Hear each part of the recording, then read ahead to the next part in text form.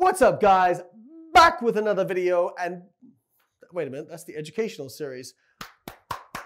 What's up, guys? It's Friday, and so you know what time it is. It is What the Fitness time. I feel like I just tried to like combine several different intros into one. What the f? So this week we have the gift that keeps on giving, Dr. Joel Seedman. And apparently he found his PhD in a cereal box because some of the stuff he promotes, actually 90% of the stuff he promotes is insanity. Just, just, insane.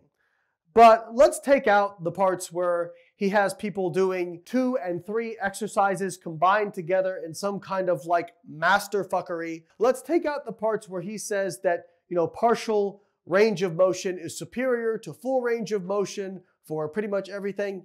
It's not.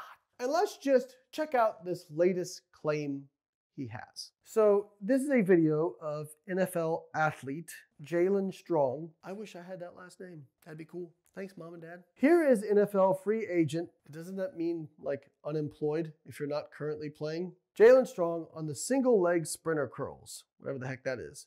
This is one of the dozens of exercises we used in the previous six weeks to help him gain 17 pounds of muscle. Run it back. This is one of the dozens of exercises we used over the previous six weeks to help him gain 17 pounds of muscle. I'm gonna come back to that. We're not done with the fuckery yet. We used lots of 90 degree eccentric isometrics, which is the single most effective training method I know of, not just for bulletproofing the joints and boosting athletic performance, but also gaining functional muscle mass and strength.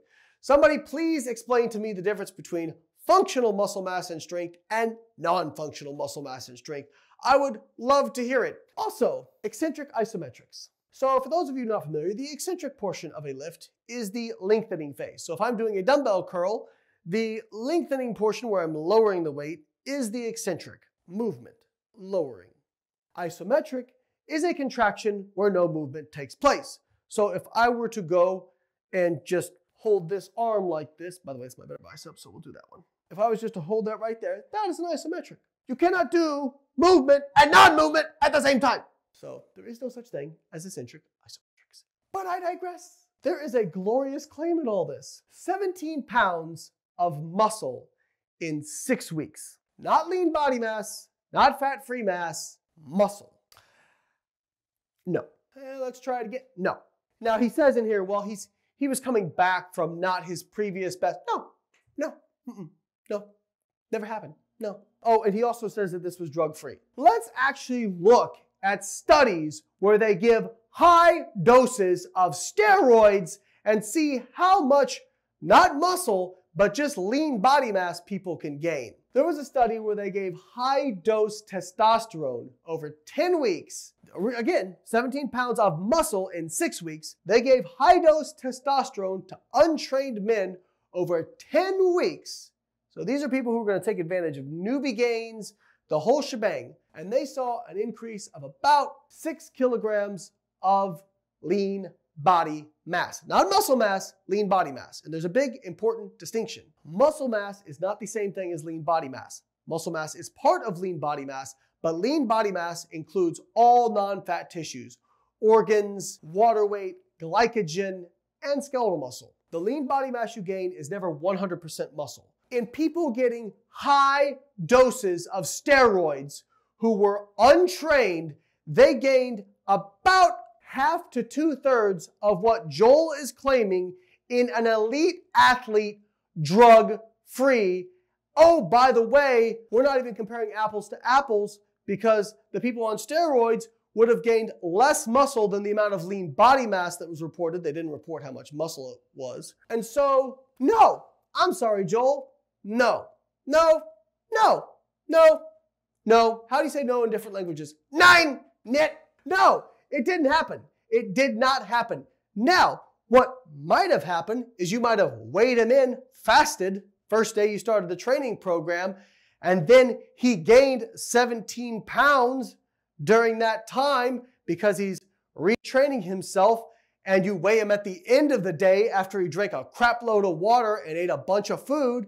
And I said, oh, look at that, 17 pounds, which I still fucking doubt, but it would be possible. But when you say he gained 17 pounds of muscle, no. No, God! No, no, no, no, no, no, No, God, please, no! No! no, no, no. No! Yes. How many no's does it take? No, no, no, no, no, no, no, no, no, no, no, no, no, no, no, no. Bad, Joel. Bad. You have a PhD. I don't know how, but you have one. Please try to act like it. And don't start with me, the people saying, well, he's just got to make a living, man. You can make a living without saying absolute fucking crazy stuff. Nobody is gaining 17 pounds of muscle in six weeks. In fact, the maximum amount of amino acids that you can deposit in skeletal muscle per day is about 10 grams. Okay?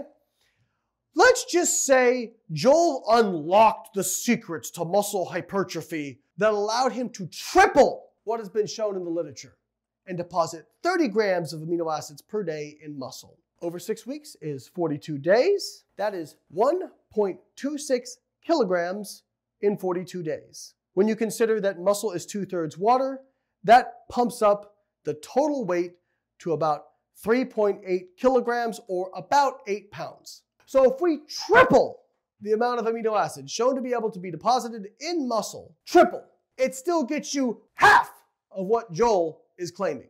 I hope I am expressing just how insane this claim is. It's not cool. It is blatant fucking nonsense. No, no. So, Joel, you have been a nice person when we've interacted. I don't really care. This is insanity. You have a PhD. For God's sakes, man, stop embarrassing the university that you came from. I promise you that if I made claims like this, my advisor would come through the wall out of nowhere Oh, yeah. and just pluck my PhD right off the wall and say, no, no. So, Joel, I really, really, really hope that you will go and change your ways and just, hey, you can promote stuff that isn't even evidence based. Cool. Say, hey, I do, you know, partial reps because it works for me, bro. Fine, cool. Stop making these bullshit claims about people putting on 17 pounds of muscle in six weeks. Oh, oh, by the way, I didn't even, I totally left out the part where this is an elite athlete, probably near their genetic maximum in terms of muscle mass. I don't know. I, I, I'm, I'm so, no. And that's the end. Bye, guys.